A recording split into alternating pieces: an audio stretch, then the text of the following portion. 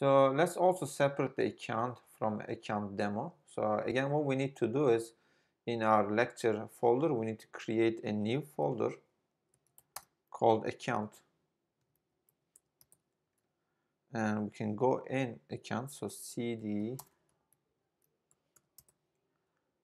and then because there's nothing in here. So what I'm going to do, I want to separate the account from account demo here.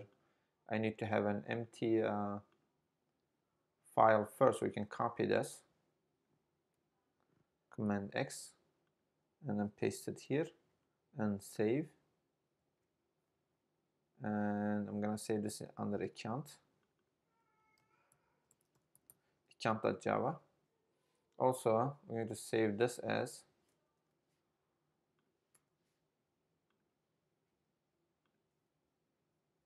account demo under the uh, account folder and then looks good.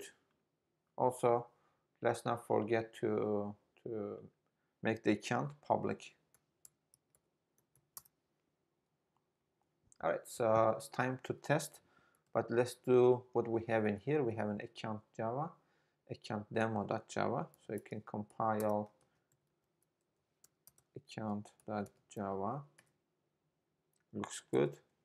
So I have my account.class and then I can say javac account demo dot java. Okay looks good. We have both java and dot class version of both files. Now it's time to test java account demo. So it just work as expected